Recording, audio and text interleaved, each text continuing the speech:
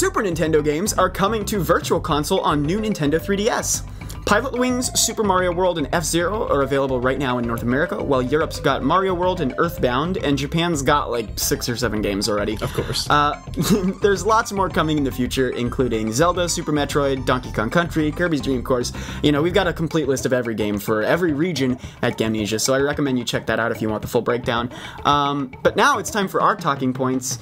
Alex, I have a hunch that you've got a lot to say about the price of these games. So, Nintendo, when I've bought pretty much every game on this list twice already, and I go to the eShop after you release them on a third platform, it really doesn't make me happy when I see a price that's listed next to it at all. this is 2016. I've paid for these games twice. I never have to pay for things twice on PlayStation. I mean, now I do if they release it on PS4.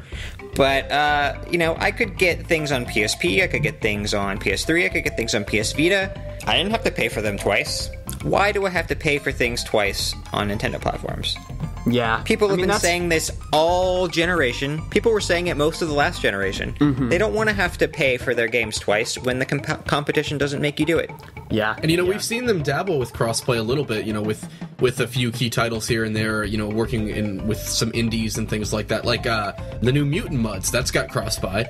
Uh so I Right. Well, that's not Nintendo. But Well, they, they do ha- have cross-buy on the Mario, the mini Mario. I was going to say the mini Mario games. They've they've done this before, which makes it even more infuriating that they won't do it for Yeah. virtual console games, for games that they've Yeah. already made. I might add. Right. And I know? feel like they've done so little here with the new 3DS that these games almost seem more like a consolation prize for people who made the plunge and bought one than they are, you know, a new event for just Nintendo fans. Because let's be real, you can play Xenoblade, you can play Binding of Isaac, but otherwise there's honestly just about no reason to own a new 3DS. I mean, I guess the download speeds are quicker. It can be nice to control the camera in Majora's Mask, but it doesn't add anything necessary to any games otherwise. And for that reason, we see a lot of people who are feeling really let down by how not worth it their price, their purchase of, you know, what, 220, 240 bucks even was. So to charge another $8 for every single game just seems callous, you know? Especially considering that these games are already available on Wii U and that the unified account system is coming before the end of the month. So, what they should have done is held this off for just like a week or whatever while they launch their new account systems and then use this as an opportunity to introduce cross buy for the virtual console. absolutely. Because people are sick of paying these same prices over and over and over again. And this is just one more major event that you're holding, Nintendo, that takes that for granted. Yeah, I'm glad you brought up the the my Nintendo thing because it this is a really bad look for your transition to a new account mm-hmm. system. It's like two weeks away, tops.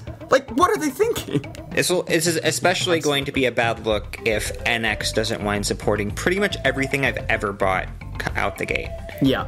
Um, yeah. Now that all said, I am stoked that you can play the Super Nintendo games on the new 3DS. I don't know if I'm actually going to end up buying any for all the reasons we said above, I feel like I'm a sucker and I'm gonna buy Earthbound eventually. right? Yeah, I feel like Super Uh, Metroid yeah, and Donkey Kong will. Country are the ones I most want to play on a handheld. Yeah, I think Super Metroid, maybe, uh, probably Donkey Kong Country 2. Um, I, I think I might make the splurge on, but I don't know. Um, it's a lot more money than it's worth for how many times I've played these Yep. games and how many ways I already own them. But um, at least conceptually, it is exciting, so I do like that. Yeah, I don't think most of these games haven't even been available on handheld in their sort of emulated form before. So, yay! Hello, everybody. Thank you for listening to this Nintendo Week clip NWC. If you like what you hear, please subscribe to us here on YouTube for more highlights and discussion videos from Nintendo Week podcast, or subscribe to us on iTunes for weekly breakdowns of all your Nintendo news, discussion segments on subjects, games, and more, and tons of other features. Thanks for listening, and we will see you tomorrow with another NWC.